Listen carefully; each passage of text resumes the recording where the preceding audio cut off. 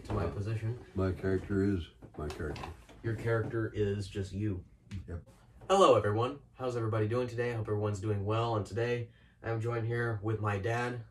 And uh, this is something that we've talked about doing, but we couldn't really do it until today because yesterday, singer slash songwriter Joji released his third album, Smithereens. Now, um, Joji has a bit of a past to him.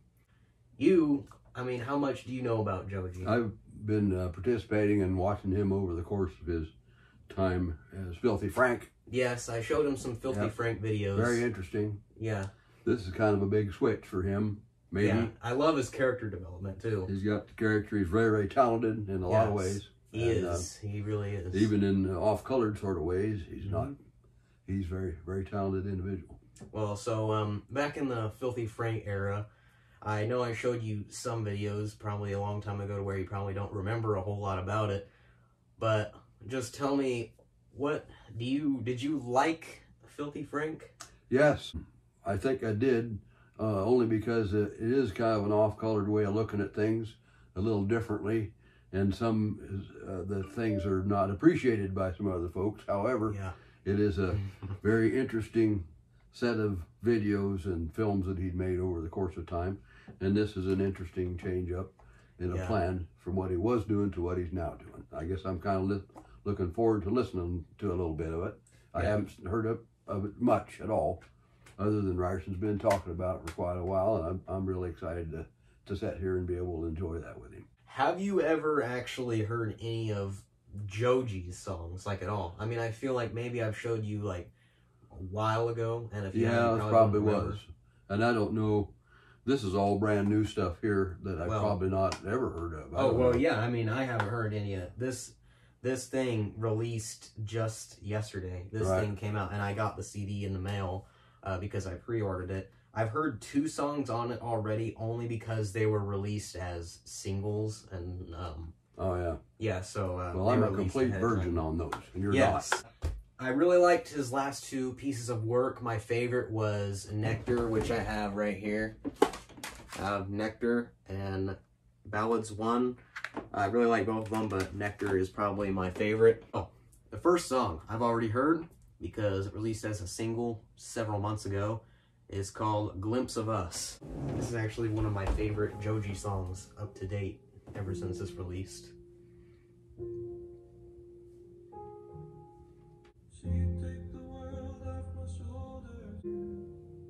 I like that. Mhm.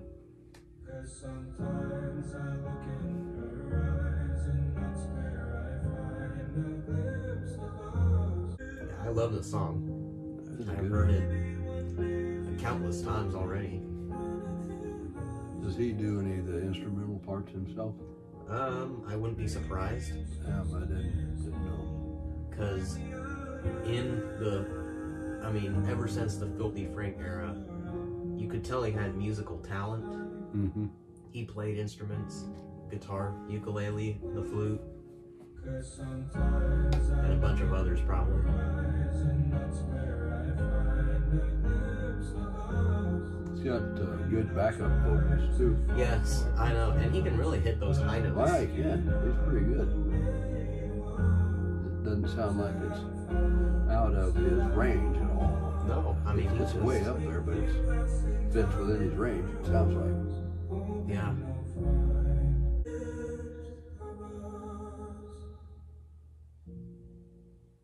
And then it closes out with some more piano.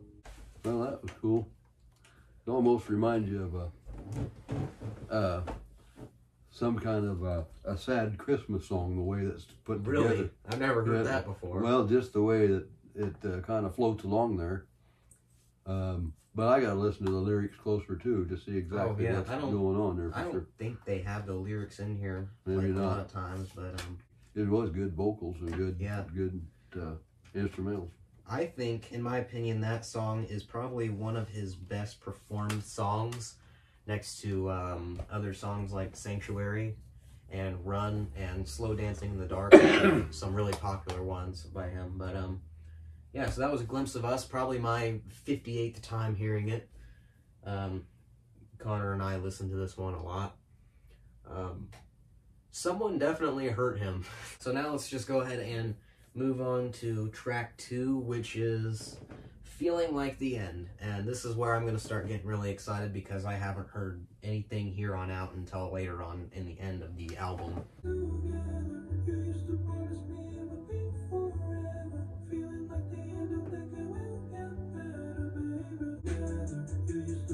That's a little different. would be forever. I like it. Not really as sad as I thought it was going to be. It doesn't have a sad, sad sound to the melody. No, but I bet the lyrics, when you listen to them yeah. really close, it's probably a different story. That was it.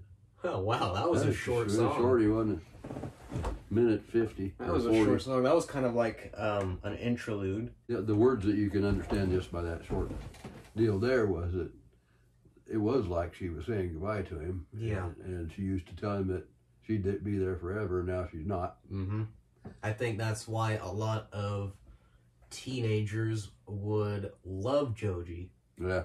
I mean, you know, because that's like this is like the perfect time of our lives to listen to something like Yeah. this. Make you start whining already. I mean, because because when you're uh, when you're a married adult, it probably you don't probably listen to it the same if you're oh, yeah. rather if you're younger yeah, that, to it. that would be what I could see happening there, too. So I think this really does appeal to younger audiences, although I mean everybody can enjoy it just by the way it sounds. I mean it sounds really Yep. good. That's it for Pretty now. short song, but I like it. so next one I've heard good things about. I haven't heard it, but um a lot of people are saying this one is as good as a glimpse of us. So um this one is called Die for You. No.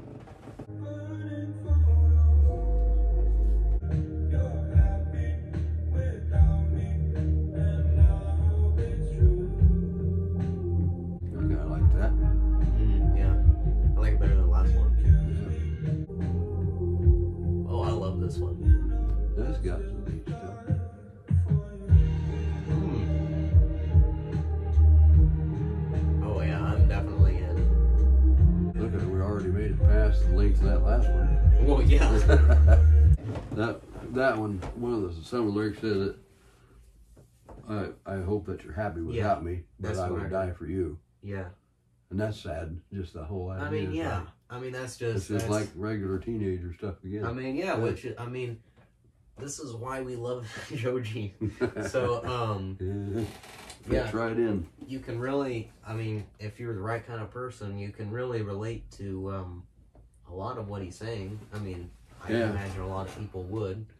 Um, Yep. Another thing I, I think about is I see people in the comments of Joji's music a lot of times saying, I can't believe this guy ate the hair cake or the vomit cake. yeah, yeah. I mean, I can't believe that's the same guy. And a lot of time I, I really do. That's just so weird because I'll be watching Filthy Frank video and then right afterwards go to a song that he made as, as his um yeah. next one is the fourth track is Before the Day is Over. You've been closing up. I expected this, but I was hoping I hope he finds a girl that likes him someday. I mean, this has been an issue for years. Yeah. Boy, that's sad to think that the whole album be uh, used up on the girls that don't even like you. Yeah, maybe it's not even based on a true. I mean, some I of it, think probably it, not. it might just be. I'd imagine some of it is, but Well, it could all be about the same girl too. You never it could be, or it could just be writing it because he knows how to portray that. Yep. Yep. I mean, he knows how to portray a lot of things. I'm I'm hearing what sounds like a female voice in the background, right there. Unless it's not a voice at all. I thought it was a whistle. Well, I guess that was an okay one. I got it wasn't my favorite so far. No, that wasn't my favorite. Um, so far, my favorite is still "Glimpse of Us," the first one. I think I like that one, and I I like the second one pretty well too. Before the day is over. And now we're going to be moving on to the fifth track, which is Dissolve.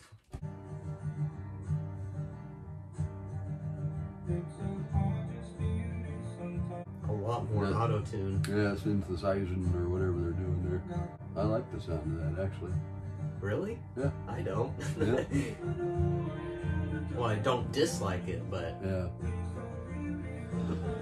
I'm not the biggest fan of the sound of No. um, of whatever effect that is.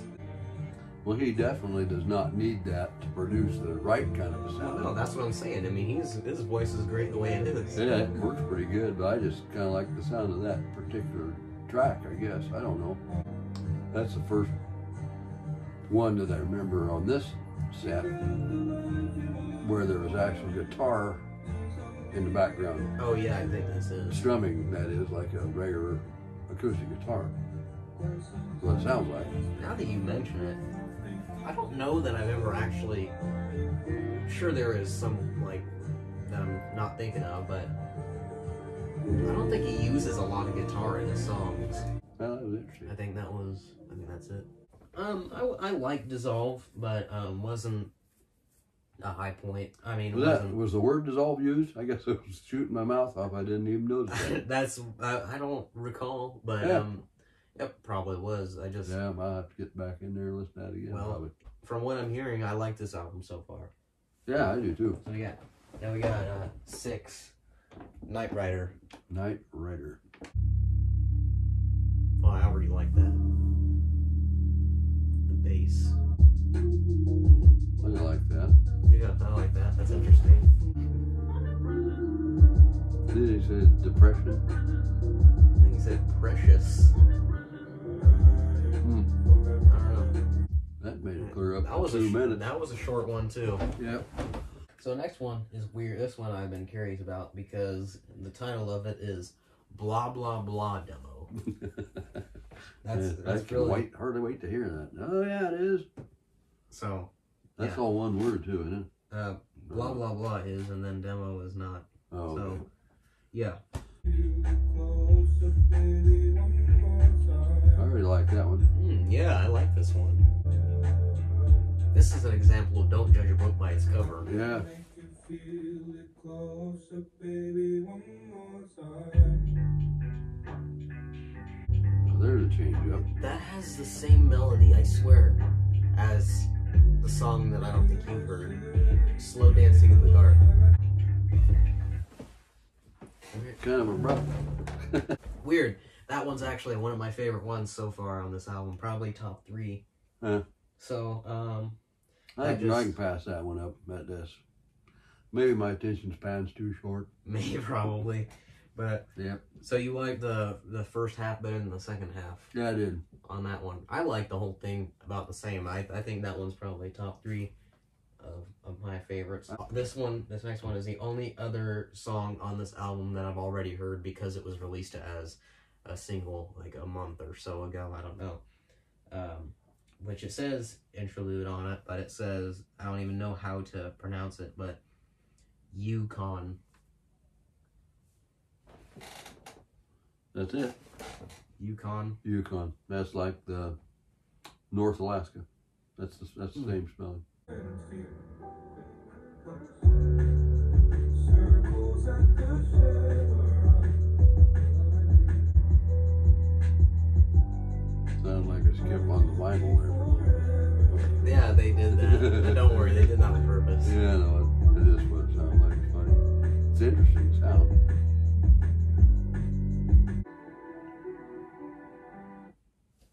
right. Dang. I like this ending piano. Yeah. They should have continued on that and got past two minutes. But we got one song left, which is called 1 a.m. Freestyle.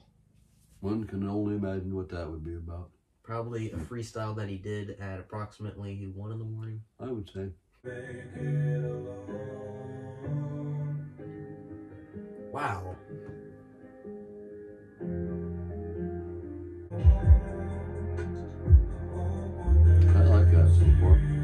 Yeah, I really like this one.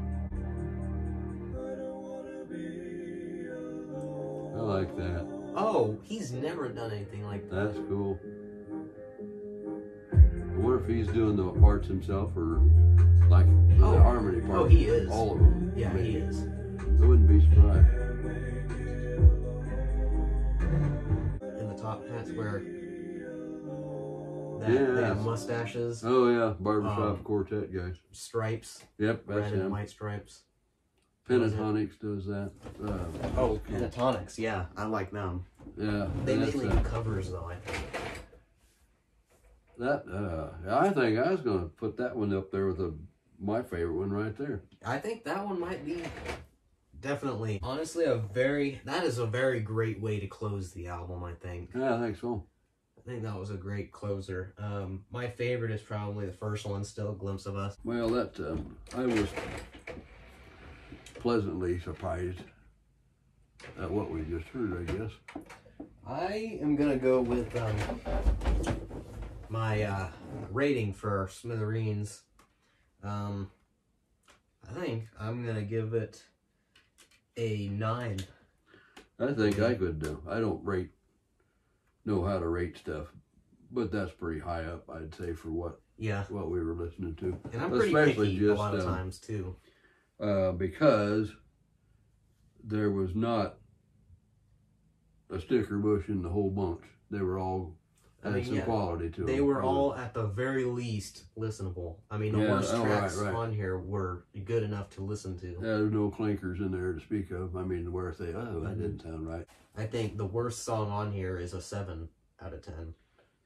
And uh, yeah, Yep, so I overall, I think it's a nine. yeah, I'd crowd it up there probably with that. Um, I Eight don't. I don't. nine. Yeah, yeah. Eight to nine is probably. I Mhm. can. I won't argue with that.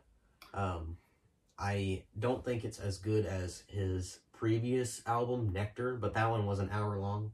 Mm. Yeah, very creative album cover too. That is nice. The artwork's really splendid. You could tell that he spent hours, Maybe days. weeks doing that. Yep, Um, but you know, I could see why it took him however many years, almost three years, to from his last album to this. Uh, I think it's better than his other one, Ballads. Ballads one. I think it's better than that one. hmm Uh, definitely better than In Tongues, and um, unfortunately better than Pink Season and Pink Guy debut album. We're gonna go ahead and end it here. If you like this video, video and you want to see more videos like this video right here, go ahead and leave a comment down in the comment section below. Subscribe and hit the notification bell because I'm almost at 700 subscribers, and that'd be pretty neat if I can hit that before uh 2023. Yeah, go ahead and uh, subscribe. Yeah, that would think be that'd pretty be your neat. best bet. Yeah. I think if you don't do that, I think that you're just dumb. yeah, and you have to listen to the albums too and listen to what he says about them. Cause, You have to because the only opinion about these albums that are right is mine. Right. See, So- nobody else's opinion matters. I'm the one that decides this. Don't listen to anyone else. Listen to me. Do what I say. Good advice.